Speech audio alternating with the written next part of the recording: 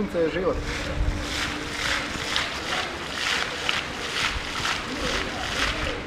Pa da, ali... Hoćete možda da se okrenemo prema zgradi biskupije da se vide jedne zastave? Ja isto nisam skušala hod za život, obitelj i Hrvatsku koji se ove godine održava u Sisku 17. lipnja 2023. godine, odnosno već u ovu subotu. Drago mi je da vas možemo pozvati i ove godine po četvrti puta na hod.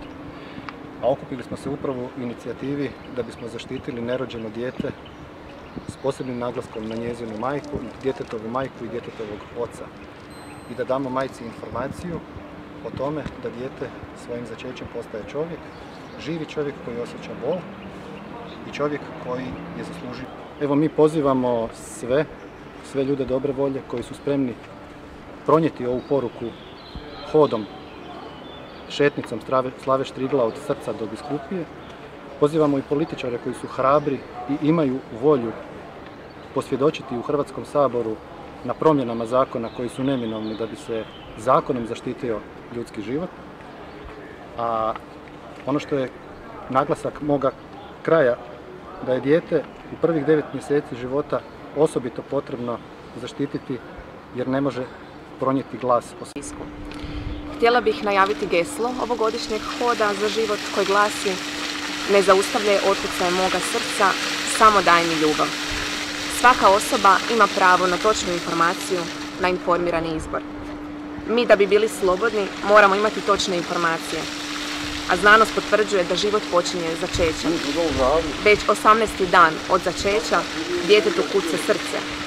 Kad još mnoge majke ne znaju da su trudne, pod njihovim srcem kuca jedno malo srce s ovogodišnjim hodu za život u našem Sisku. Ulicama našeg grada hodat će se za zaštitu svakog života od začeća do prirodne smrti.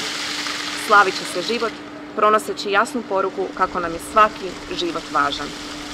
Ovaj snažan pokret, hod za život, obitelji Hrvatsku, pokazuje kako iz godine u godinu, osim rastućeg broja ljudi koji dolaze na hod, rasti broj gradova u kojem se organizira.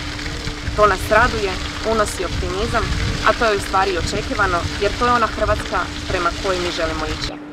Želimo stvoriti optimizam u našem gradu, što je imperativ također, te u svakom gradu potaknuti aktualnu vlast da ulaže u mlade, u obitelji, u obrazovanje, u radna mjesta, omogućiti majkama fleksibilnije radno vrijeme, omogućiti svim ljudima koji žele imati djecu obitelj, da to mogu imati u konkretnijoj društvenoj i ekonomskoj situaciji. Ovaj miroljubivi hod je za sve one žene koje trebaju našu podršku, ljubav i pomoć i na kraju krajeva za sve obitelje koje to također trebaju. Ne, niti razmišljamo o tome. Protiv je legitimna stvar. Ko voli neka protestira.